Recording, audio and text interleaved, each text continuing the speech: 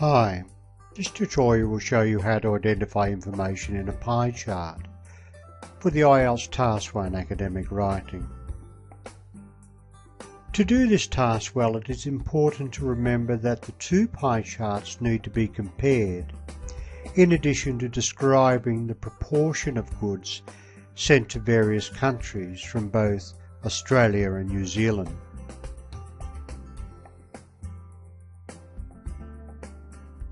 Use the pause button on your player if you need longer to read the following screens, and the play button to continue.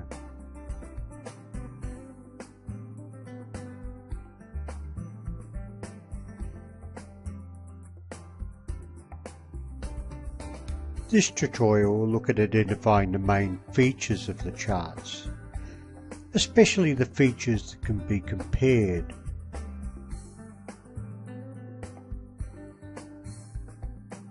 An essential point to note is that for both countries, only three destination countries made up about three quarters of the total goods.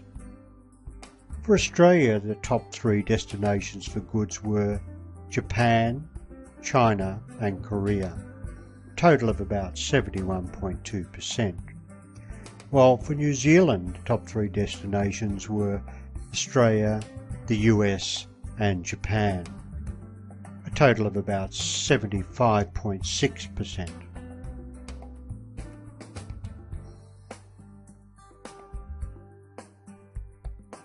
A key point you should mention is that the country that took the largest percentage of New Zealand's goods was Australia at 38.7%, well over a third.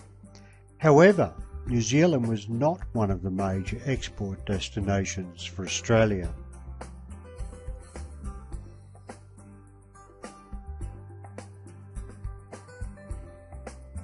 Another point to note is that the country that received the largest proportion of Australia's goods in 2008, namely Japan, 32.9%, almost exactly a third, was also a major destination for New Zealand's goods, 16.7%.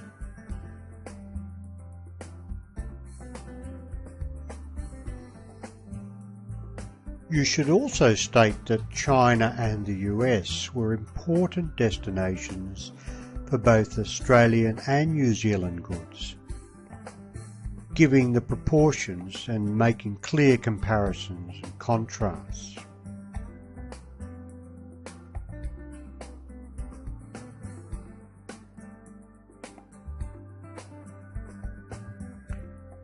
To fully use the data given, you can state that the UK was a significant destination for New Zealand's goods, but that that country did not appear in the major export destinations for Australia.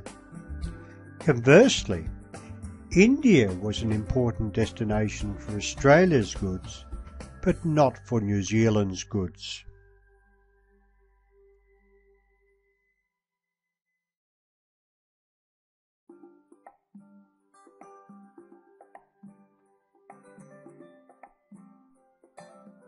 Remember that dealing with all the main features is essential to getting a high score. And avoid simply describing the percentages given. Look for similarities and differences to make your comparisons.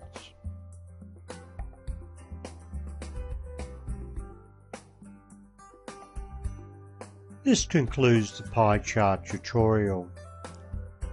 If you want more help with your IELTS, go to www.myenglishexam.com.